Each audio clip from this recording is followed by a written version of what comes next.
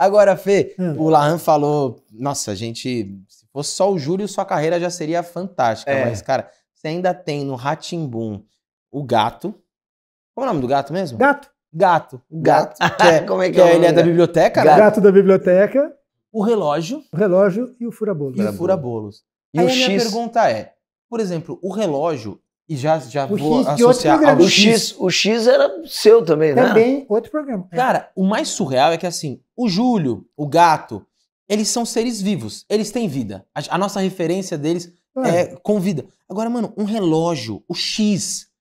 Cara, como que é pra você partir disso? Olha, então, Fernando, aqui é o pessoal da cultura, o programa chama X Tudo, você vai fazer o X. Cara, como é que parte essa- dessa criação? Você deu dois exemplos muito legais. É, O relógio, por exemplo, é uma coisa que eu peguei pronta. Eu fui já chamado para manipular aquele relógio.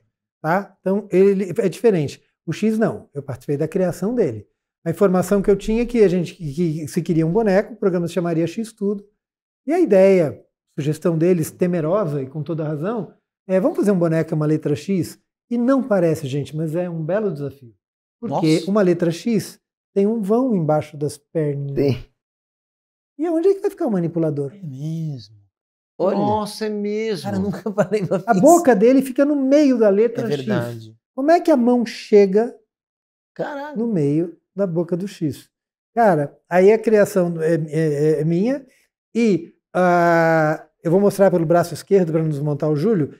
Essa inclinação aqui é para manipular um boneco como o Júlio, eu tenho que ficar o mais reto possível.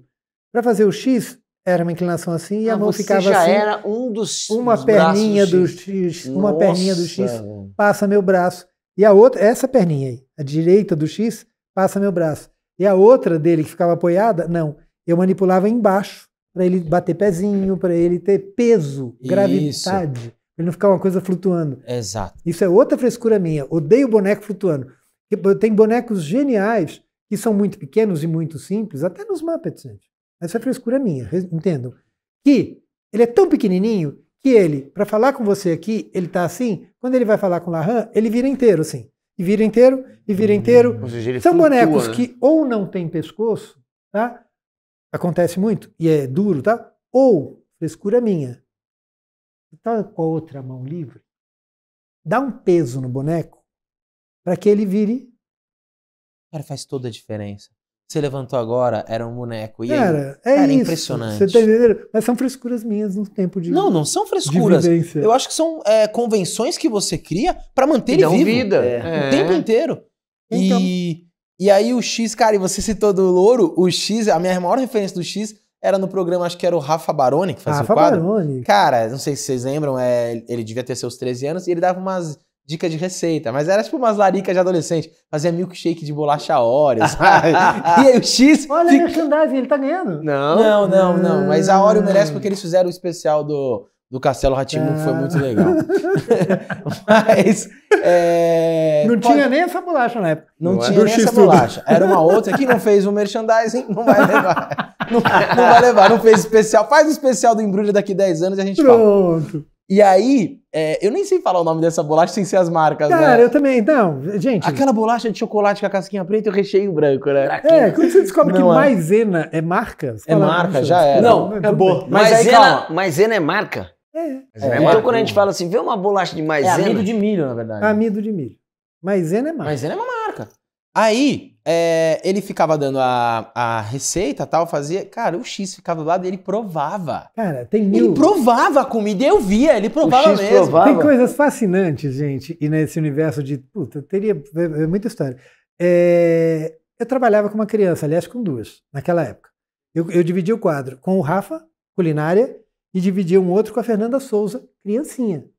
Cara, teoricamente, pro Rafa e pro Gerson de Abreu, quem conheceu o Gerson de Abreu, ator adulto maravilhoso, humorista, não sei o quê, quem tá fazendo o boneco e tô com o roteiro no colo, eu também sirvo de ajuda para vocês. Você esqueceu, eu posso dar a tua fala, eu posso dar uma- um toque para tua fala para você vir. Eu tô com o texto aqui, tal. fácil. Que era a maior função do Louro José, né? Exatamente. Ah, com a Fernandinha nunca existiu isso, porque sabia tudo, todo o texto. Agora o Rafa esquecia direto. Então tinha mil combinações de deixa para ele. Tá? E o mais legal dos quadros do Rafael, que era uma criança fazendo de verdade. É. Sabe aquele cara que jogava farinha dentro do liquidificador, ligava o liquidificador e fazia. puf, sabe? Puta, falar, cara, é, é, as- as- os acidentes aconteciam de Era verdade. muito legal. Na maioria das vezes a gente arrumava, mas muitos ficaram. Entendeu? Então, isso foi muito. O X foi um programa muito marcante também. Uma época boa.